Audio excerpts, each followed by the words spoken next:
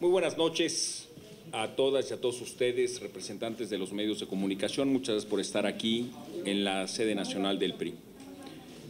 Primero que nada, en el PRI expresamos nuestra solidaridad y apoyo a las mexicanas y a los mexicanos afectados por la cancelación del programa DAC. A todos los Dreamers les decimos que México es su casa.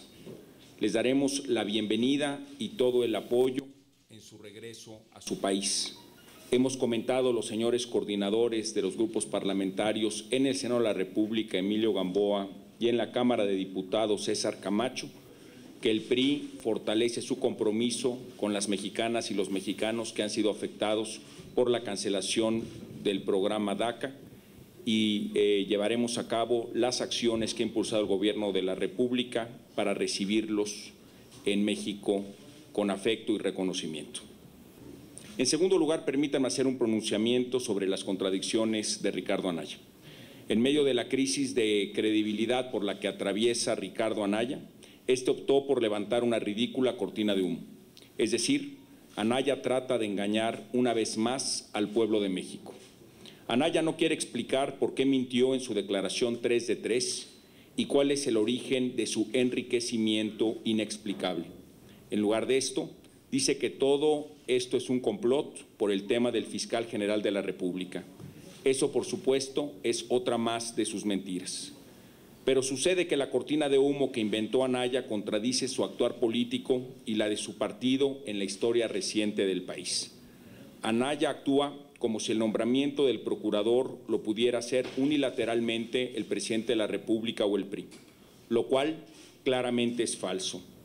Desde 1994 el Poder Legislativo en México tiene un papel indispensable para el nombramiento del Procurador General de la República. ¿Por qué?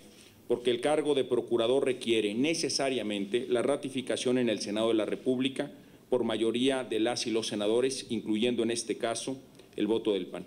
Anaya y su partido han aprobado las leyes que ahora desconocen. En 2012, desde el Pacto por México, el PAN impulsó la transformación del sistema de justicia penal Ricardo Anaya era entonces diputado federal. ¿Qué acaso ya no se acuerda? ¿Por qué finge amnesia? En diciembre del 2013, el PAN aprobó la reforma para crear la Fiscalía General de la República. En ella, el PAN votó a favor de que el primer fiscal fuera el Procurador General de la República en funciones. Ricardo Anaya presidía la Cámara de Diputados en ese entonces. Su voto como diputado fue a favor de dicha medida. Una vez más, ¿a poco ya no se acuerda?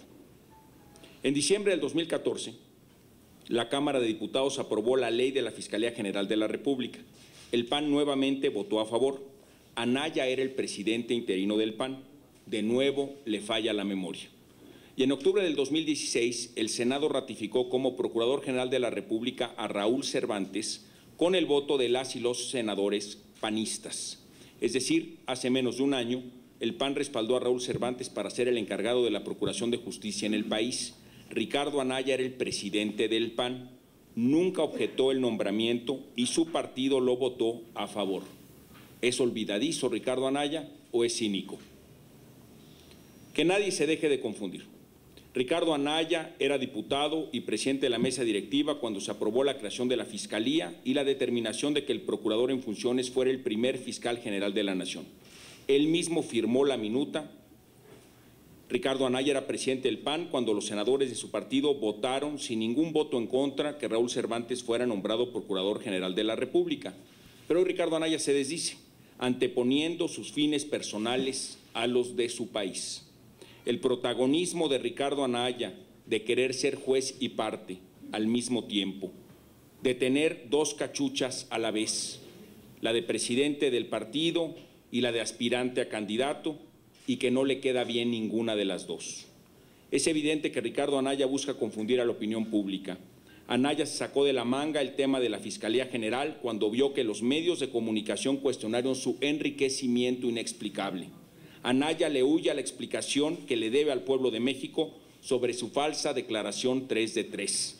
Anaya le huye a la explicación que le debe al pueblo de México sobre los 53 millones de pesos que obtuvo por la venta de un activo industrial y que nunca declaró.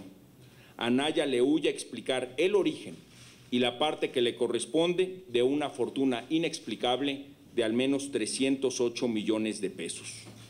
Cada vez que se le pregunta a Ricardo Anaya sobre estos temas, se pone rojo, enfurece, levanta la voz y cambia de tema.